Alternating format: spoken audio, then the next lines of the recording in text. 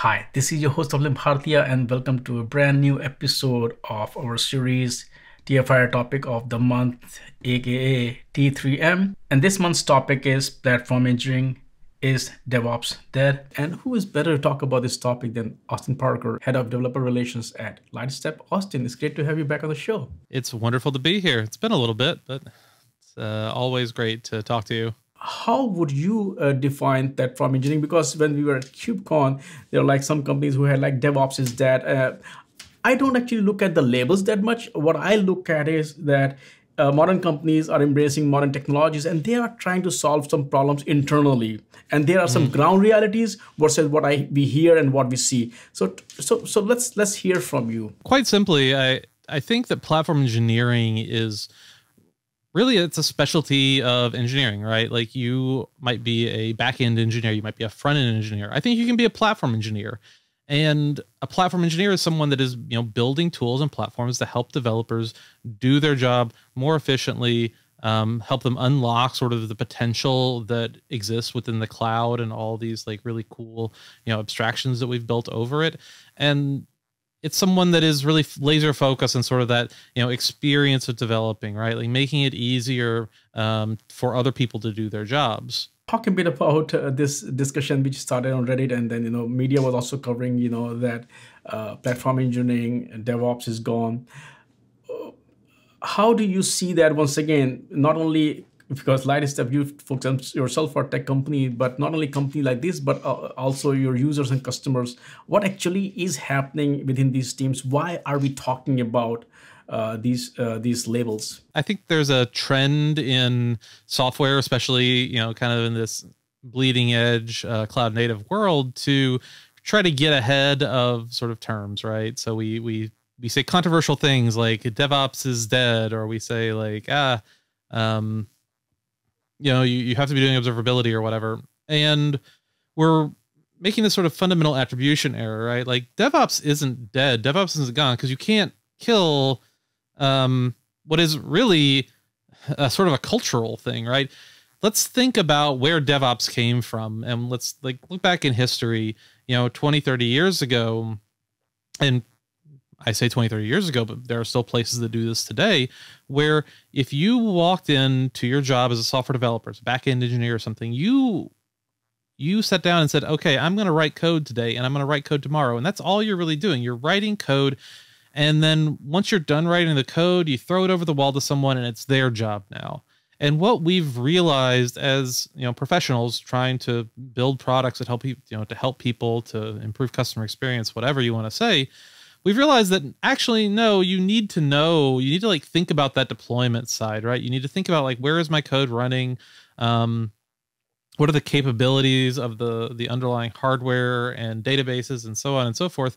And as a developer i need to own my code beyond just like writing it into the ide and saving it. And that is what devops is. Devops is really that shared responsibility. It's that shift left of moving things that formerly were someone else's responsibility more towards the you know place where we write the code so that we have more ownership over what we're actually doing in production. And that lets us you know not only be more efficient and effective because now i don't have to have you know i don't have these like silos of knowledge and experience and whatever else. Now i can actually take advantage of all of these cool things we're building in the cloud right? I can take advantage of you know really neat database abstractions or external APIs or whatever, because we're being able to pull sort of the development, the operations world closer together. And platform engineering is a complement to that right? Platform engineering is me saying as an engineer, well, I'm going to work on building a better platform to do DevOps on, right? To to enable or to accelerate DevOps culture inside my organization. I do remember, you know, we had a discussion where you're saying that no, you should not even have DevOps in your you know title. So so if once again going back to the ground reality, should you have platform engineering in your title, and if yes, why? Uh, I think yeah, no, I think you know you can't have DevOps in your title, right? Because DevOps is this cultural thing. But platform engineer, sure, right? You can be a senior platform engineer. You can be a junior platform engineer. Um, I think there's a lot of overlap there with sort of site reliability engineering, and these are, you know, not quite two sides of the same coins, but certainly if you are interested in SRE, um, platform engineering is going to be like very appealing to you as kind of a you know area of focus but absolutely like platform engineering is a crucial part of unlocking you know more productivity uh, better end user experience just better like more happiness really i think.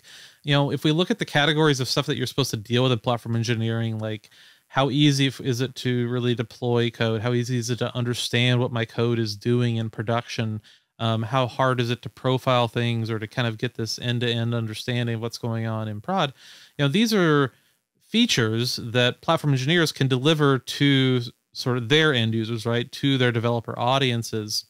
And that's all absolutely crucial stuff if you're trying to make it you know make the actual practice of programming better for your colleagues and coworkers. So absolutely like you can be a platform engineer and you can go and build these cool platforms. Um, i think the interesting thing and this is what i see a lot of our customers you know grappling with right now is that it's the rate of change of technology and you know this idea that how are you going to build a platform that's kind of better than the off the shelf stuff right?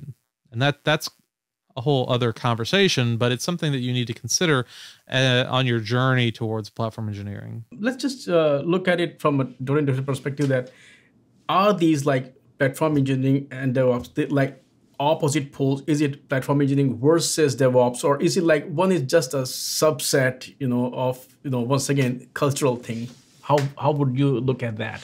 The way i like to think of it is that devops is sort of a foundational um, thing right? Or i also i say this about observability as well. Like it's a you know it's kind of like sand or, or water or air. It's something that fills in all the gaps and all it fills in around everything else in your org so if you think about DevOps as being sort of this um, this ether almost, where it's just like this is something that we are doing as an organization or as, as a team, as a company, then platform engineering is a concrete realization of that. If you have a DevOps culture and you are you know have an organization that's focused on DevOps, then you can build platform engineering in that.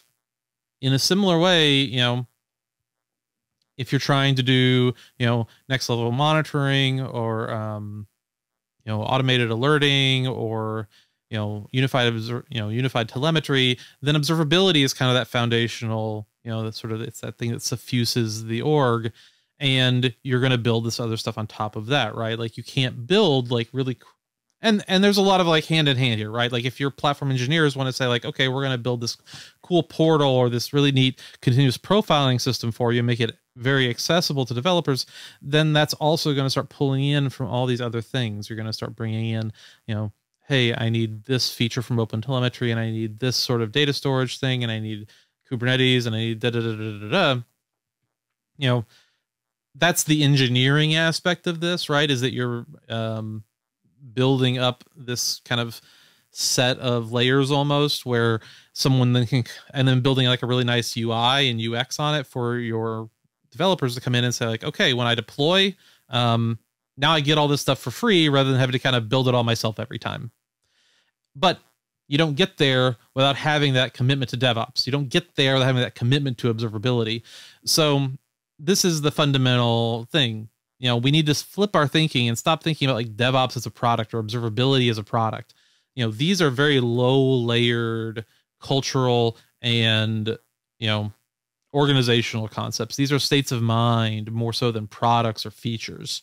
Um, and then things like platform engineering and you know unified telemetry and open telemetry and stuff like that those are what is on top of that foundation we since you have a title uh, developer relations we also talk about developer experience. Because uh, if you look at ops team security team uh, there are certain teams who are very calculative very math- methodological very you know mechanical or mathematical. But then there are also teams uh, i mean uh, we used to call developers as poets you know or artists you know because they are creating something new.